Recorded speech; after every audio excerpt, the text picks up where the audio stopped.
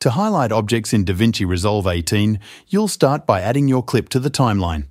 Then navigate to the Fusion tab and press Ctrl plus space on your keyboard to open the Tool Selector window.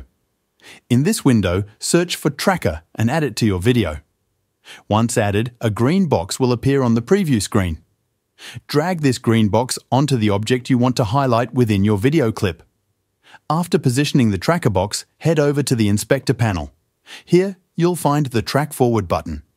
Ensure your playhead is at the start of the clip, then click this button.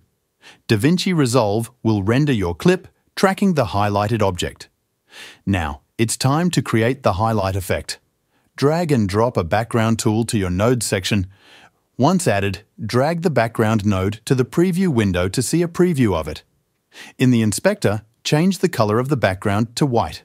Then use the rectangle tool to define the shape of the highlight, adjusting it to fit your object. You can also increase the soft edge option if needed. With the background shape defined, connect the background node to the tracker node. Select the tracker node and navigate to the Operation tab in the inspector. From the Operation drop-down menu, choose Match Move. In the Apply Mode drop-down menu, select Overlay.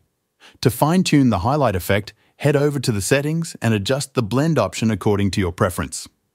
Finally, select the background node and add a transform node. This allows you to further adjust the highlight effect, ensuring it appears exactly as desired.